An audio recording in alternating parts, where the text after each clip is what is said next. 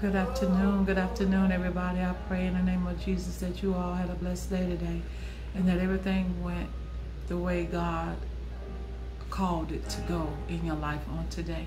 That you trusted His suggestion, His answer, His request, that He got total victory out of your life today. I'm here for prayer on tonight, and I'm asking you all to come in and touch and agree with me in prayer. So let's pray. Real and lasting joy. For the kingdom of God is not a matter of eating and drinking, but of righteousness, peace, and joy in the Holy Spirit. Romans 14 and 17.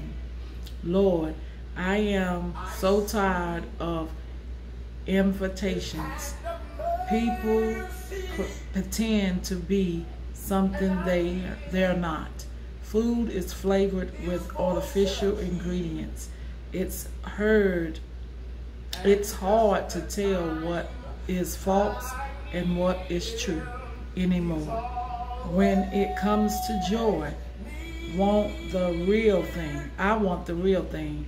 Pour into my life your genuine and lasting joy. I need more of you. Lord, I pray for righteousness, peace, and joy in the Holy Spirit.